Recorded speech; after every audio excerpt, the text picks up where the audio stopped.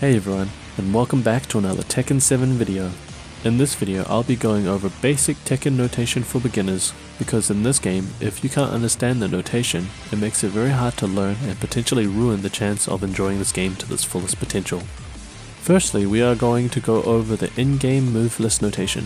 A white arrow in any direction is pretty self-explanatory. Tap up, down, left or right. One thing to keep in mind though is that the move list in the game always refers to itself as if you were standing on player 1 side, e.g. the left side. A black arrow is exactly the same as a white arrow but instead of tapping the button it means to hold it instead.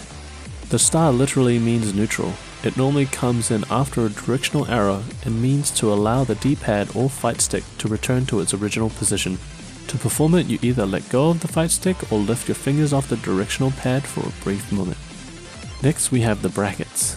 To perform this, press the two buttons within the brackets rapidly in succession. The buttons are pressed almost at the exact same time, only slightly delayed. Some people might also call this drumming. Next we have the four buttons on the right side of your controller, each to represent a limb of your character.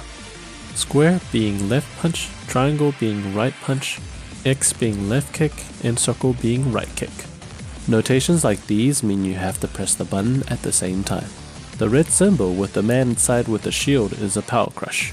The power crush is a move that allows the user to absorb damage from highs, mids, and still continue the attack. Absorption properties only happen after a certain point of the move, not as soon as you use it. Also note that power crushes can be countered by lows and throws. Throws used against power crushes will make it unbreakable. Rage arts have power crush properties but also can absorb lows. The blue symbol with the circular arrow means the move is a homing move. Homing moves have properties that allow it to hit targets that are sidestepping. The green spiral symbol means the move is a screw, or also known as a tailspin.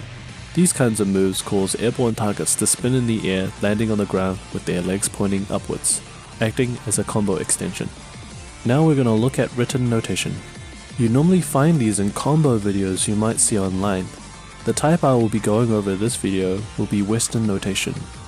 It is useful to know this kind of notation, as players who discover optimized combos or make character guides will most likely use this. Square, left punch, triangle, right punch, X, left kick, circle, right kick are normally referred to as 1, 2, 3, and 4. For directional notation, F is forward, B is back, U is up, D is down. Lowercase refers to tapping these directions, where capitals means to hold. Slashes between these particular letters mean the diagonal directions. We have D slash F for down forward, D slash B for down back, U slash F for up forward, U slash B for up back. FC stands for full crouch, means you have to already be crouching when you input this command. WS stands for while standing, it is a stance players can enter for a small window of time when they are starting from a crouching state and releasing the directional pad or stick to move to a standing state. It is most commonly used to attack after blocking lows. N stands for neutral, which is the star symbol we mentioned earlier. WR stands for while running, a state which can be entered when the player presses forward three times in a row. The closer you are, the more it requires a faster execution. SS stands for sidestep, as Tekken is a 3D game, sidestepping allows players to have more control of space.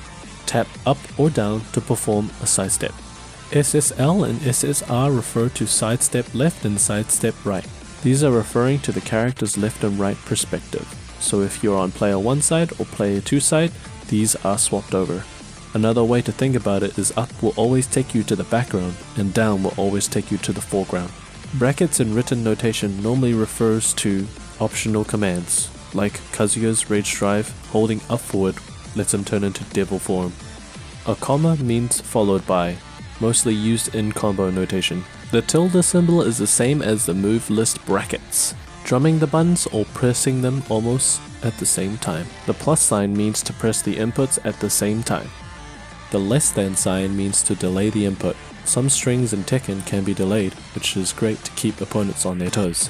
The star sign or the degree symbol means to hold the button, normally used on 1, 2, 3, and 4, e.g. shall use while rising 2. CH stands for counter hit.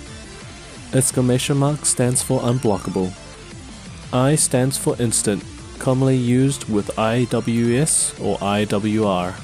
This concludes my Tekken 7 basic notation for beginners. If you have any suggestions or what you would like to see, make sure to comment down below. Subscribe if you like my videos, and thank you for watching.